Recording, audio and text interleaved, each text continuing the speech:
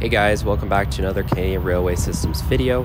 Today we are going to be following CP 7040 South, train 313 across the northern part of the Aldersyde sub. It runs from Calgary, Alberta down to Lethbridge, Alberta, so let's get started. Our first stop on the chase is here at Dewinton, Alberta. We can see CP 7040 South, train 313 approaching our location here. We're right around a mile 101 on the Aldersyde sub.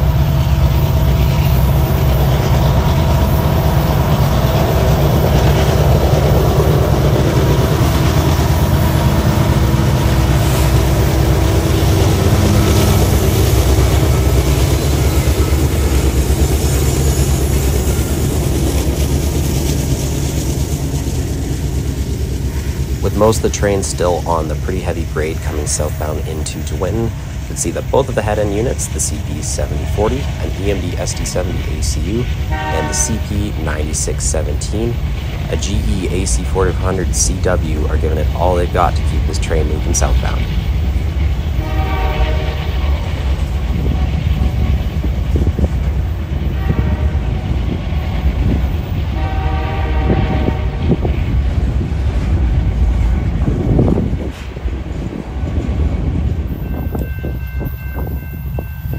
For our second spot here, we're at south siding switch to win. We can see CP 7040 South train 313 really picking up some speed here. Uh, they just had to align the switch at the south end back to the normal position.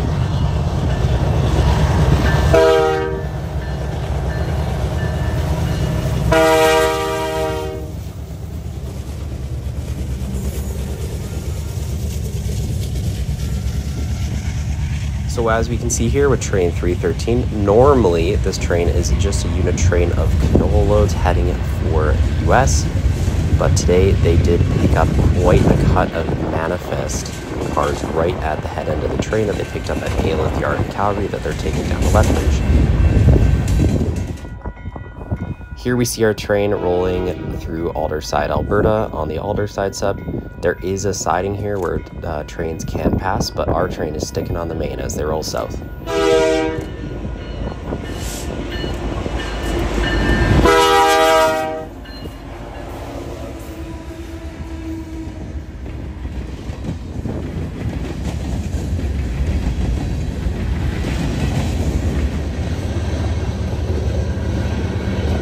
We can see, just referencing my point earlier in the video, we do have now all of the loaded canola hoppers that are heading south through the US. Like I said, basically the back two thirds of this train is, uh, is a unit train of canola loads.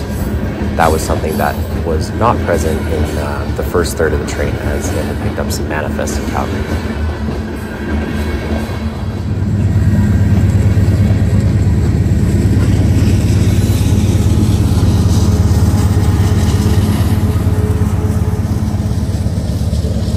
Halfway back in our consist today on 313 we do have a mid-train DPU just to help with that tonnage and uh, the slack action on the train just makes for uh, easier train handling.